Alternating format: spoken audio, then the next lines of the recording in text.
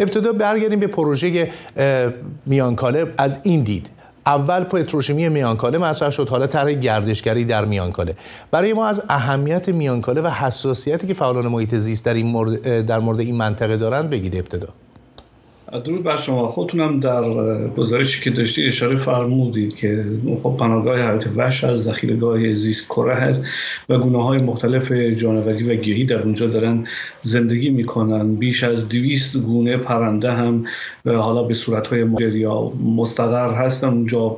سالانه بیش از یک میلیون و 500 هزار قطعه پرنده به صورت مهاجر وارد اون منطقه خواهند شد.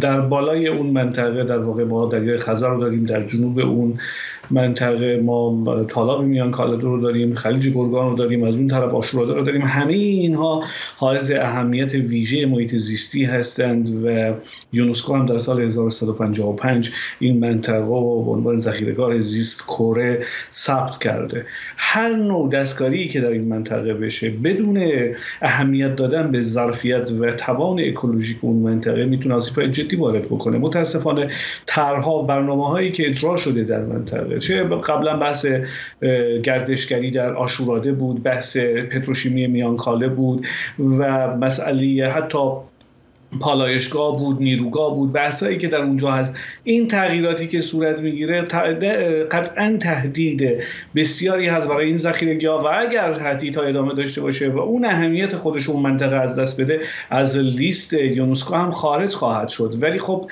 متاسفانه مقامات جمهوری اسلامی اهمیتی به این موضوع نمیدن و صرفا به دنبال منافعی هستند که اغلب هم اقتصادی هست و البته اغلب هم برای یک عده خاصی است شما اشاره کردیم به این قضیه که در واقع فقط اهمیت بدن به منابع اقتصادی خودشون. خب ایران کشور کوچیکی نیست پهناوره. با توجه به این همه حساسیت چرا اصرار داره تو این منطقه این کارا رو انجام بدن؟ ویژگی های جغرافیایی این منطقه مخصوصا حالا فقط میانکاله نیست کل منطقه شما رو در نظر بگیرید در اون منطقه ما ویژگی های توریستی بسیار جاذبه ای وجود داره برای طرحهای توریستی. منتها خب متاسفانه در جمهوری اسلامی بحث اکوتوریسم مطرح نیست بحث صنعت توریسم مطرح هست یعنی صرفا فقط به دلیل اینکه بتونن یک منبع اقتصادی داشته باشن برای گروه ها و نهادهای خاصی. با توجه به اینکه شمال در واقع توریست پذیر هست و افرادی از نواحی مختلف کشور به اون منطقه میرن. خب این جذابیت رو برای سرمایه گذارا داره که سودهای بیشتری و بتونن به دست بیارن و اساسا بحثی هم مطرح از من اشاره بکنم اینجا. بعضی ها میگن که اساسا مطرح کردن پتروشیمی که قبلا بود و بحثایی که واکنش شهید رو در برداشت یک راه گم کردن بود. در واقع می‌خواستن واکنش مردم و نسبت به اون بسنجن و برای مخالفت با پتروشیمی بعد خیلی راحتتر بتونن طرحهای دیگه ای که مخرب نیستن مثل در واقع طرح پتروشیمی یعنی در اون اندازه و در اون وسعت نیستن راحتتر بتونن انجام بدن. از جمله این طرحهایی که به نام طرحهای گردشگری هستن به نام طرحهای میراث فرهنگی هستن که خود اونها چون ارزیابی های دقیق محیط زیستی ندارن چون متوازن و منطبق با شرایط اکولوژیک نیست بسیار بسیار خطرناک هستن و قطعا یک تهدید بزرگ است. خب آقای سهرابی در واقع باز هم خبرنگاران از میدان اون منطقه که دارن توضیح میدن میگن به خاطر وجود فاضلاب هایی که در آب میانکاله است سالیانه بسیاری از پرندگان اونجا کشته میشه بعضا خبراش هم منتشر میشه. در این مورد چرا حکومت داره تلاش می‌کنه در واقع محیط اونجا رو به هم بریزه اگر دنبال توریست هست؟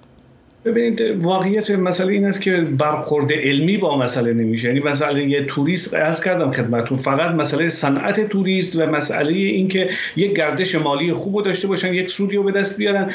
بحث های اکوتوریسم و بحث های اکولوژی بحث هایی که سلامتی اکوسیستم و زیست بوم در بر می‌گیره در برنامه اونا نیست. اساسا هر نوع پروژه‌ای که بخواد اجرا بشه باید مجوزهای لازم محیط زیستی و با ارزیابی دقیق و درست صرفا مجوز هم نیست.